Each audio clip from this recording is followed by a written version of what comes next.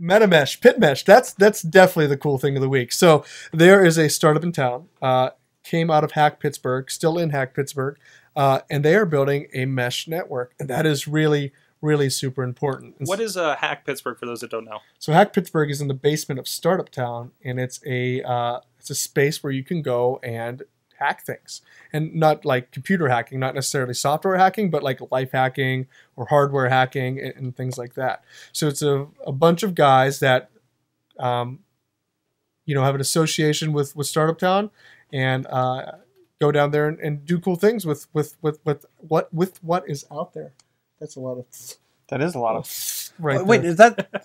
I saw a picture of this. I think on Twitter. Yes. that's the, one of the antennas, isn't it? Yes, that's the antenna Ah. on the front of the hardware store now, and it is uh, phallic and profound. uh, but more importantly, is just this general idea of what a mesh network is. It's this really cool way of creating free wireless infrastructure. So everybody owns their own access point anyway.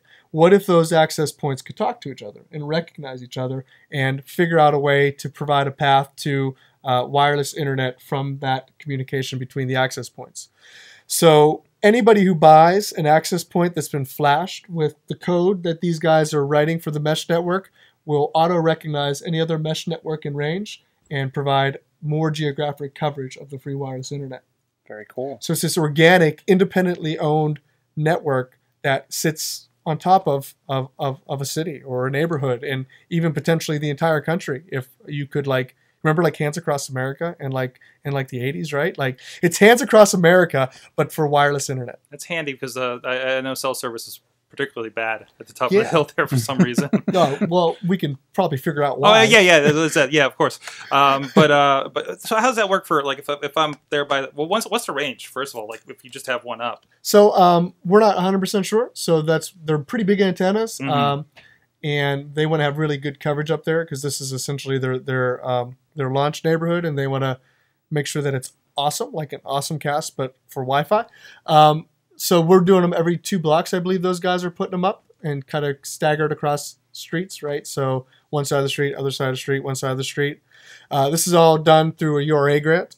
Uh, and so the URA gave those guys some money to build this pilot mesh network.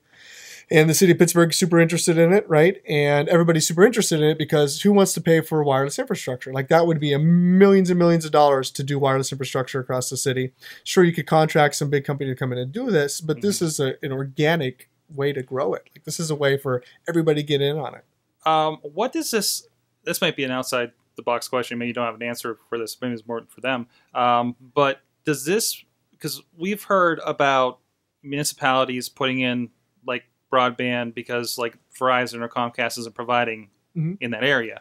um, is there any concern of this getting in the way of those? Because uh, Pennsylvania, in particular, I know um, they have restrictions on that because Verizon or whatever made enough noise. You can get in those politics, but Sure.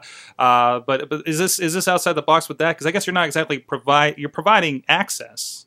So But- there's a couple ways to look at this. Yeah, because Uh, I mean, uh, you, you're, yeah, like and- we're, we're, we're talking about like you have your FiOS or your Comcast in the building and it's hooked up to that, right? Am, am I getting that right? uh, maybe it could go any way, I'm right? technical, I know, but uh, so you know the thing about mesh networks is that they're just a network Yeah. and they don't necessarily even provide access to the internet unless somebody ports it to their internet port okay, so think about this from a city services perspective a horrible catastrophe happens in the city of pittsburgh all the lights go out but all these mesh network antennas are on battery backups Hmm. that's a, an independent network that has the lights on no matter what's going on with everything else in city infrastructure so chat functionality, video conferencing, vo- voice over internet protocol, right? Anything that you can run on a regular network or on on the internet, you can now run on this independent battery battery backed up uh, wireless infrastructure. Now, to get to the internet, somebody's got to donate bandwidth, and that bandwidth can come from any business class uh, internet connection, right? okay. So I mean- like I, I can't do it from my house, but but You could. I would think Comcast would be mad at you. that, that, I'm sure there's a TOS problem in there. Just like Probably like, just like like problem. running like I'm pretty sure I wasn't supposed to run that Shoutcast server out of my house ten That, years that's ago. That's probably Yeah, true, yeah. and you're probably not sure it's a bit torrent like gigabytes of like you know Game of Thrones Exactly. like 4K, Exactly. like original 4K Game of Thrones footage Well, or anything and- like that. And how does that work from a from the respect of if someone donates bandwidth, what happens if then someone does torrent or is that blocked somehow? Yeah, so that's all flashed on there very very intelligently. So Okay. uh, somebody in the street can't take your bandwidth if you're doing a ha- high bandwidth application inside your home. Okay. So the guys have written bits of code that say, well, I'm going to donate 20% to the street. Okay. Uh, uh, and then if something is going on inside the hardware store that requires a lot of bandwidth, that's just going to get shut off for Oh. some period of time. So like like like ideally, say we had a business class here, and I want to do mesh here in Beechview on, Yeah. on my house. Uh, I could say, you know, hey, Tuesday nights we're just gonna kill it, kill that extra bit. Yeah, so it's going to supposed to be smart enough to do it automatically. So if it sees that you're pulling and streaming and doing all that I'm- kind of stuff, If I'm sitting here legally watching Game of Thrones and I need the bandwidth, it'll it'll, it'll uh, dither, compensate. it, dither it down. now, all of that said, um, we think this this is a disruptive idea, Mhm. and we think that eventually somebody's going to be very irritated by it, right? Because a lot of people have a lot of stake in telecommunications and have been building out what we consider legacy systems, right? Like Mhm. these old, big, archaic chunks of infrastructure, and the rate at which this technology is changing is going to essentially create obsolescence for all that stuff. And in that, there's, I'm sure, going to be legal battles as well. But being this early in, I think that we're going to have a couple years of awesome growth and awesomeness associated with it. One what but I guess my my question too was what keeps someone that's using the mesh network from torrenting or from doing something illegal. Well, nothing. nothing. What keeps you from going to Starbucks and doing something illegal, other than their terms of service and whatever sort of firewalls that they may or may not have in place, right? Okay.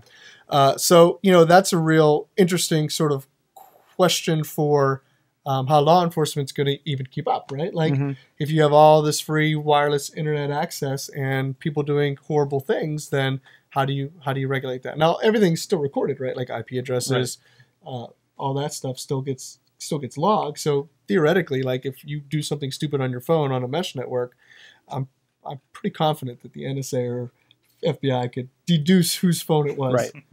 Uh, that would just be a hunch. I don't have any real data to back that up.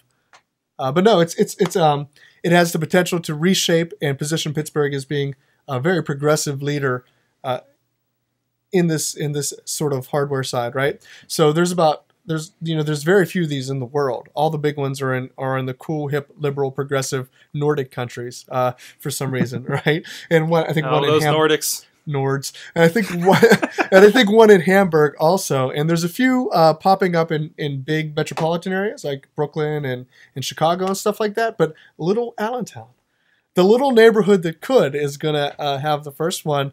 And you know, from our perspective, giving information to uh, to people that are are, are economically distressed uh, is, is a huge part of, of, of, of turning those situations around.